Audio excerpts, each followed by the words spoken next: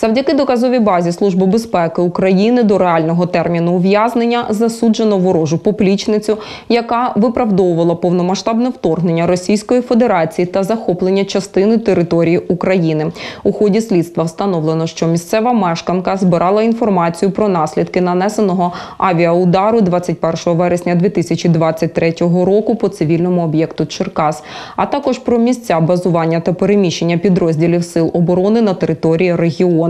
Усі зібрані розвіддані вона передавала громадянину Російської Федерації, який проживав у Києві. Також направляла йому. Приховано зроблені фотознімки ураженого об'єкту.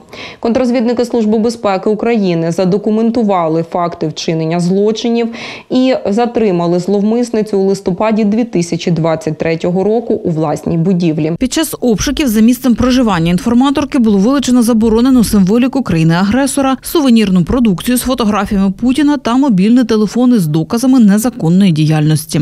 Ініційовані експертизи Службою безпеки України підтвердили факти вчинення інформаційно-підривної діяльності на користь країни-агресора. Наразі на підставі зібраних доказів суд визнав винною фігурантку за статтею 114 прим 2. Це несанкціоноване поширення інформації про направлення переміщення зброї, а також рух переміщення та розміщення ЗСУ, вчинене в умовах воєнного стану. Та за статтею 436 прим 2. Це виправдовування визнання правомірною заперечення збройної агресії Російської Федерації проти України, глорифікації її учасників і призначив їй покарання у виді п'яти з половиною років ув'язнення з конфіскацією всього належного їй майна.